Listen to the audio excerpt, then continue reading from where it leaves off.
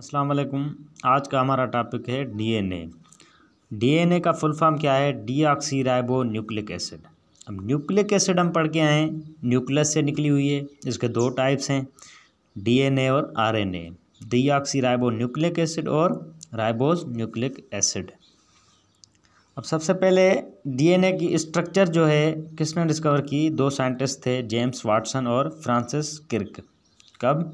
Nineteen fifty three में। अब DNA की स्ट्रक्चर क्या होती है? डबल स्टैंडर्ड स्ट्रक्चर होती है। डबल स्टैंडर्ड डबल स्टैंडर्ड कैसे?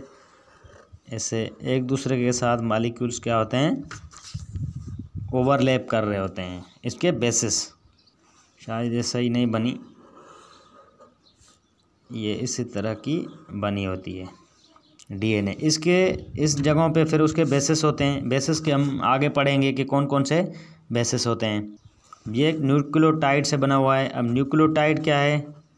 न्यूक्लियोटाइड तीन किस्म के होते हैं। Pentose sugar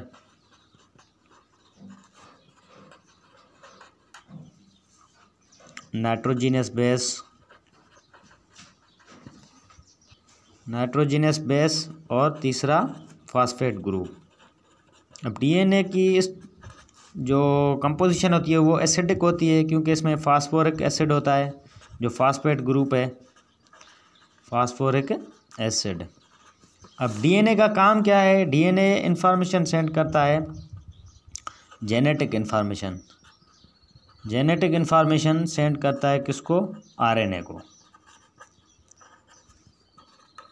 आरएनए को सेंड करता है इंफॉर्मेशन अब आरएनए क्या करेगा? आरएनए उसको डिकोड करेगा, उसको रीड करेगा, उसके हिसाब से फिर उसको सेल्स बना के जो है ना प्रोटीन सिंथेसिस करेगा। अब दूसरा डीएनए का क्या काम है? डीएनए हेरिडिटी मटेरियल भी है।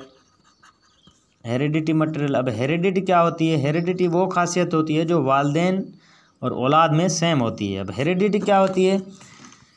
ये इन्फॉर्मेशन सेंड हो इन्फॉर्मेशन सेम कैसे होगी? पेरेंट्स से उनके औलाद की तरफ़ जो है ना ऑफ़ स्प्रिंग्स ऑफ़ स्प्रिंग्स हम किस, कहते हैं, औलाद को। जो खासियतें, जैसे आप देखते होंगे, कुछ वालदेन के चेहरे मिलते जुलते होते हैं अपने बच्चों से, अपने बच्चों के जो है ना चेहरे मिलते रहते हैं, उसकी अंदाज़, बात करने का अंदाज़ अपने वालदेन से मिलता जुलता रहता है, वो होता है हेरिडिटी जो खासियतें वालदेन से बच्चों को मिलती हैं। अब डीएनए क्या है न्यूक्लियस में? ये न्यूक्लियस में परमानेंट स्टोरेज है। Permanent storage site for genetic information genetic information की ये परमानेंट स्टोरेज है। अब इसमें क्या होती है? टू चेन्स होती हैं। टू चेन्स एक दूसरे के साथ ओवरलेप कर रही होती हैं। अब ये इन्फॉर्मेशन जो सेंड करेगा, उस इन्फॉर्मेशन को हम क्या कहेंगे? उस इन्फॉर्मेशन को हम कहेंगे जेनेटिक कोड जेनेटिक कोड अब जेनेटिक कोड क्या करेगा? वो डिसाइड करेगा कि सेल क्या है? सेल नर्व है नर्व सेल है या मसल सेल है? अब डीएनए में एक जीन होता है जो कि आरएनए को रेगुलेट करता है, उसको इन्फॉर्मेशन कैच करने के लिए। अब आरएनए उसको फिर क्या करेगा? उसके हिसाब से फिर प्रोटीन सिंथेसिस करेगा। अब डीएनए को हम देखेंगे, उसके बेसिस क्या हैं? डीएनए के बेसिस जो कि एक चेन में उसके हिसाब से अटैच होती हैं। ये एक डीएनए की स्ट्रक्चर है। ठीक है? इसकी तरफ़ एक तरफ़ एक होता है, दूसरी तरफ़ दूसरा होता है। अब ये जो लिंकेज है, ये लिंकेज कौन सी होती है? ईस्टर लिंकेज होती है। ईस्टर लिंकेज स्टर लिंकेज कौन करवाता है? ये करवाता है नाइट्रोजीनस बेस। अब इसके बेसिस कौन से हैं? डीएनए के। डीएनए के बेसिस हैं एडिनिन, साइटोसिन,